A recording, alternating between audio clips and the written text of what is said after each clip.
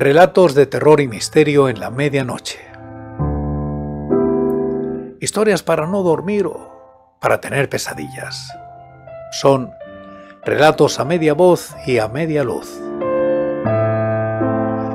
Pero ahora apaga la luz, cierra los ojos y escucha solo mi voz. Eso es. Así. ¿Me acompañas?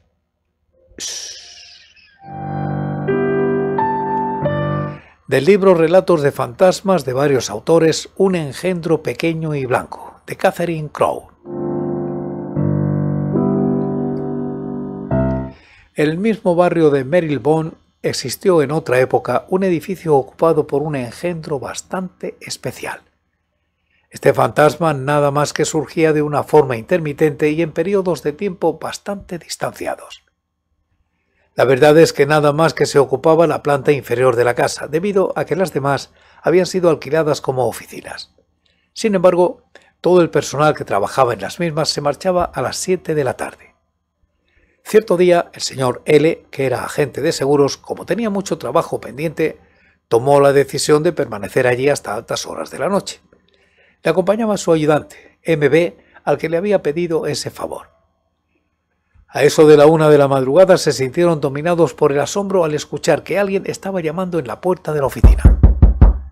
Al momento se cuidó el subalterno de abrir sin encontrar otra cosa que el descansillo totalmente vacío. Pasados unos minutos se repitieron los golpes.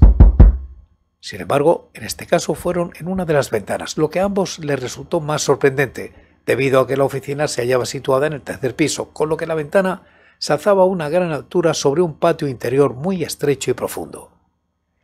En esta ocasión fue el señor L quien se encargó de ir personalmente a comprobar lo que estaba sucediendo.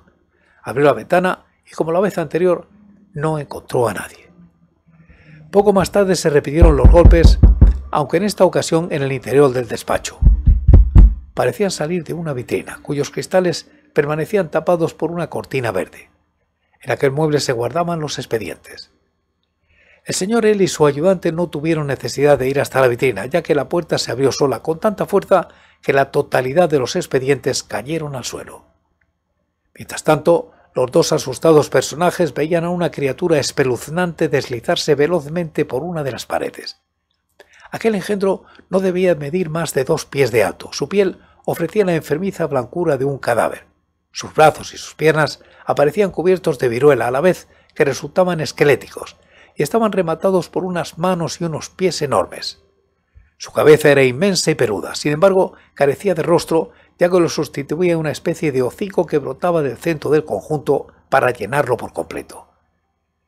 El monstruo blanco dio seis o siete vueltas por el despacho con una rapidez inusitada sin chocar con ningún mueble. Por último, se arrojó sobre la ventana que estaba cerrada para atravesar el cristal sin romperlo y desaparecer. Como el señor L y su ayudante se consideraban más curiosos que cobardes, decidieron montar guardia durante las noches sucesivas. Pero el engendro blanco y pequeño no volvió a aparecer. Unos seis meses más tarde, cuando el ayudante se disponía a dejar la oficina, luego de haber estado allí hasta la una de la madrugada, escuchó que alguien llamaba en la puerta, luego en la ventana y al poco rato en la vitrina. En esta ocasión la vitrina se encontraba bien cerrada, pero el engendro pequeño y blanco escapó de allí sin tener que abrir las puertas y comenzó a deslizarse velozmente por las paredes. A pesar de sentirse muy aterrorizado, el señor B hizo intención de atapar hacia la diabólica criatura. Al segundo o tercer intento logró ponerle la mano encima. Sin embargo, solo tocó el aire, es decir, hundió sus manos en un aire helado que no tenía ninguna consistencia. La tercera aparición tuvo lugar pocas semanas después, siempre a la misma hora de ir a cerrar la oficina, luego de haber estado allí hasta la una de la madrugada. En esta ocasión se encontraban presentes el señor L, su ayudante B y el cliente MW. Singularmente, el engendro no había advertido su presencia con las consabidas series de golpes, incluso llegó a cambiar de táctica. Prefirió quedarse inmóvil en uno de los ángulos de la chimenea. Nada más que su hocico se desplazaba de un lado a otro como relamiéndose repugnantemente. Señor L le tiró un libro y el monstruo dio un salto extraordinario para esquivarlo y luego se desvaneció materialmente en el aire. Al Al realizarse una encuesta en el barrio se pudo conocer que 30 años atrás allí había fallecido una mujer al dar a luz a una criatura deforme, la cual solo permaneció viva unos minutos. A estos dos sucesos tan horribles debemos añadir un tercero, aunque lo haremos con ciertas reservas, ya que su simple recuerdo nos desconcierta. Sin embargo, las declaraciones de los señores L y B ante la policía fueron apoyadas más tarde por dos testigos que merecen todo nuestro crédito.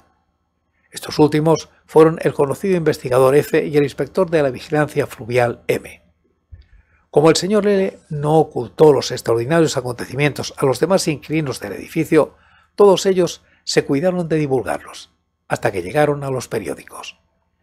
Esto dio origen a que interviniese la señora M, residente en Bow, que pertenecía a una sociedad de investigaciones físicas y se había formado una gran reputación. La señora M se comprometió a terminar con las apariciones terroríficas del engendro pequeño y blanco.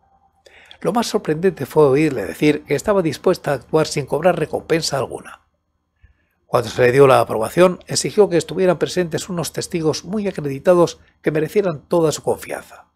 Estos fueron el señor L, el señor B, el investigador F y el inspector M. La noche establecida la señora M se encontraba provista de una gran cestilla de la que hizo salir en el momento preciso un gato blanco, de esos que tienen los ojos rojizos. Contó que el animal era albino, por lo que podía brindar unos servicios muy eficaces en ciertas experiencias ocultas. El felino comenzó a dar vueltas por el despacho casi sin que nadie se lo ordenase, olfateando las puertas, las ventanas y por último se detuvo ante la vitrina. Ante este mueble esperó dando idea de que le interesaba en gran medida. Entonces la señora M solicitó a todos los presentes que permanecieran inmóviles y tranquilos. Nada más terminar de hablar, siempre en un tono muy bajo, abrió la vitrina. Al mismo tiempo el gato ya estaba corriendo por las paredes a una velocidad inimaginable. Repentinamente todos le vieron saltar sobre una presa invisible con la que libró una lucha encarnizada. Todo este momento se prolongó por espacio de dos o tres minutos que a los espectadores les parecieron siglos. De pronto se escuchó un rabioso gruñido. Luego un alarido escalofriante. Al que siguió un grito espeluznante. Con lo que aquellos infelices seres humanos estuvieron a punto de perder el sentido. Poco a poco el gato se fue tranquilizando. Le vieron lamerse las patas y acto seguido, como si se sintiera muy cansado, se metió en la cestilla sin que su ama se lo ordenara. El fantasma acaba de regresar al lugar de donde nunca debió salir, expuso la señora M con un tono muy grave. Puedo asegurarles que jamás volverá a molestarles. No mintió, ya que el señor L y el señor B jamás volvieron a ser aterrorizados por el engendro pequeño y blanco.